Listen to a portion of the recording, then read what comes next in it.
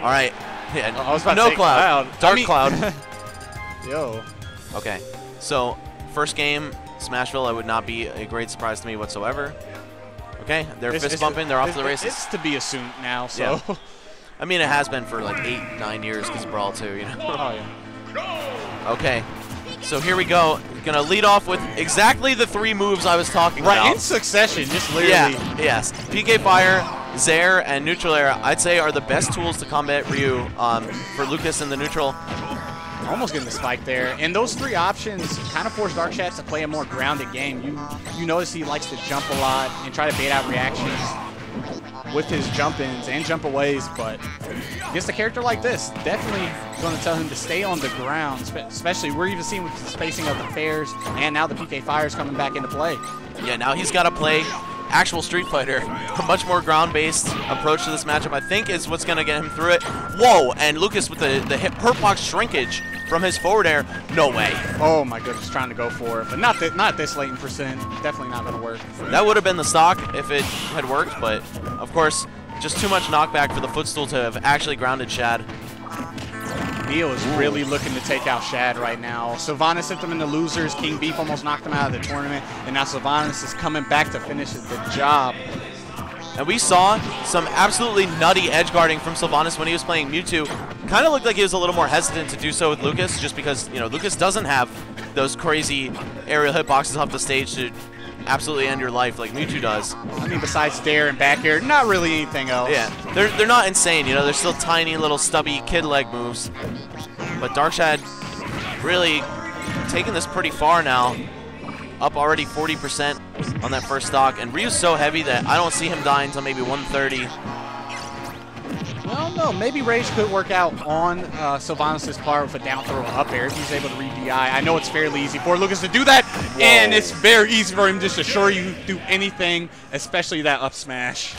I seen the up smash come out, but I I I, I played Shad so much that I knew he was going to do it. I've seen him assure you through everything. Yeah, man. He had all that startup on the up smash, too. Shad was just like, give me that. And there's invincibility on Lucas's up smash as well, so man. Just kind of getting blown out, uh, Cilvanis, in that first match. I'm not sure if I would have liked to see him switch to Mewtwo. Mewtwo does die ridiculously early in this matchup. But, I mean, after seeing that, like, doesn't even matter what percent you die at. It's more about completing the stocks, winning the neutral. Though he is most likely more familiar with Lucas in this matchup. Do you know which matchup it was in winner's bracket? I actually do not. I'm gonna assume it's Lucas since this is what he went in with. Yeah, same. I would agree with that.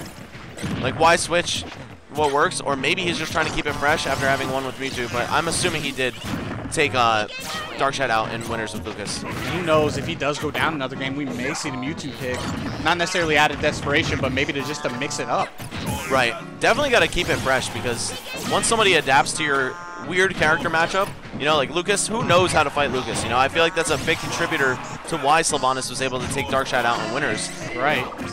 But after the adaptation is on.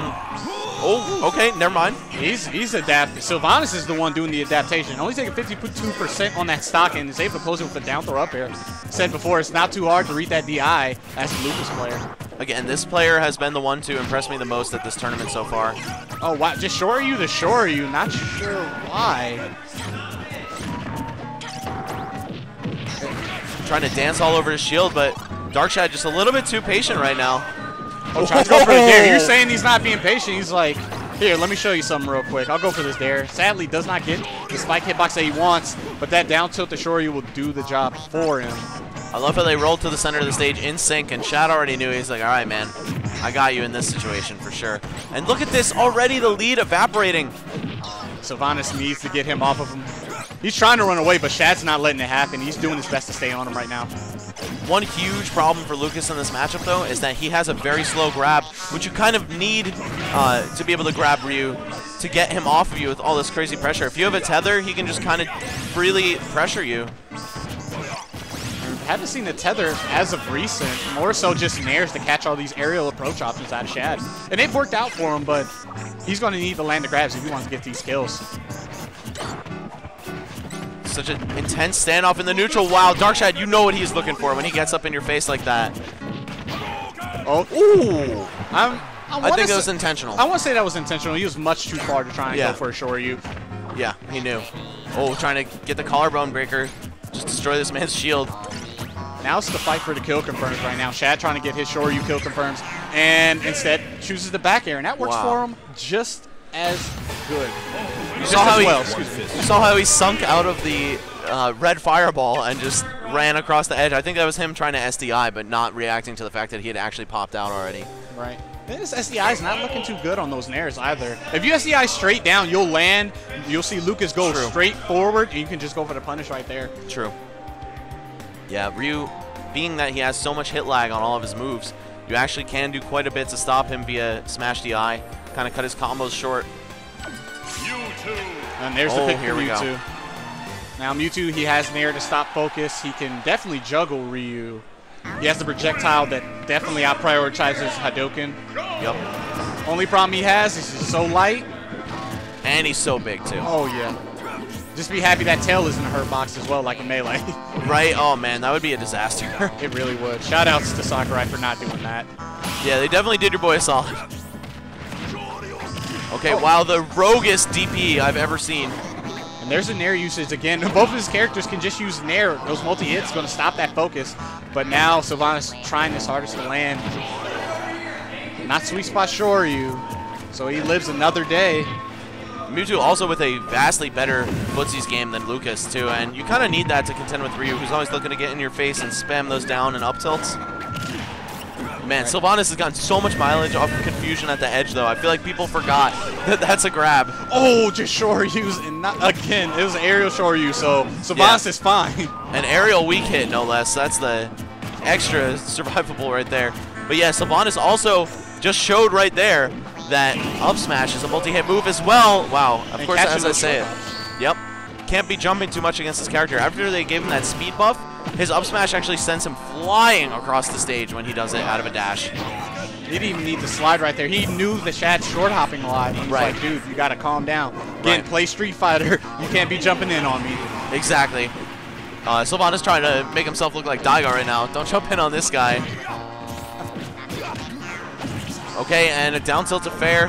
That's like 16 damage for uh, frame 6 confirm, which is really good. Uh, safe one at that. Mewtwo's down tilt, one of the best in the game. But he's going to need a lot more than, you know, bits of 16 damage at a time to take out the very heavy and very powerful Ryu, who can turn this one on him so quickly.